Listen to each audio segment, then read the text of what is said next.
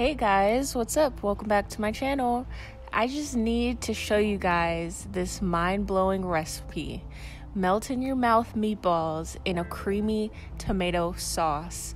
It's so easy to make and it'll leave you drooling for days. Just mince up four garlic cloves and one small onion.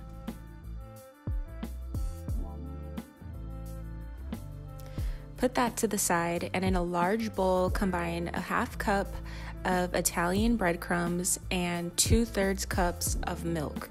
You can use half and half, heavy cream, or regular milk. Just don't use any kind of sweet milk like almond milk or anything like that. Then dump a package of ground turkey in there and add the minced onion and garlic. Crack one egg Add a fourth a cup of Parmesan cheese and a half cup of fresh parsley. Then season with two tablespoons of seasoned salt, one tablespoon of chili powder, and one tablespoon of thyme. Give this a good mix to make sure everything is well combined. And now here comes the fun part scoop up a tablespoon of that mixture and portion it out on your cookie sheet. Then we're going to smooth it out. Fill a small bowl with water, then dip your fingers in there and start smoothing out the edges of the meatball.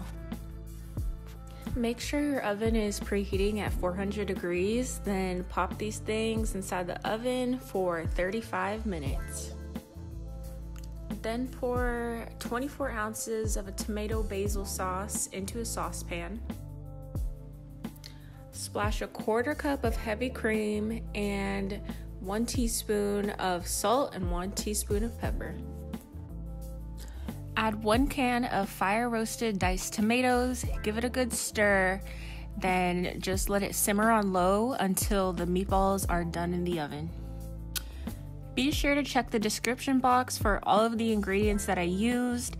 Take a screenshot of that, make sure you have it all in your kitchen, and if you don't, just take yourself to the grocery store and make it a quick trip. I got you.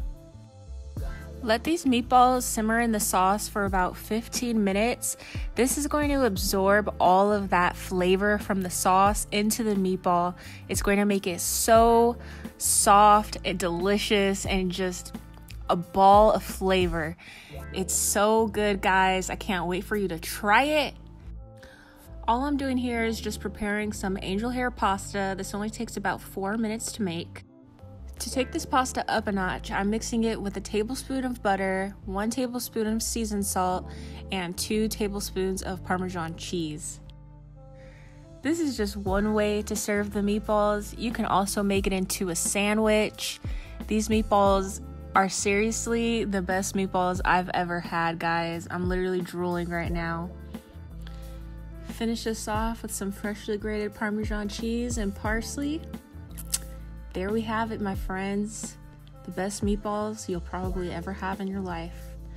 Just enjoy. Please make sure to give this video a thumbs up and leave a comment if you enjoyed it. I'll see you next time.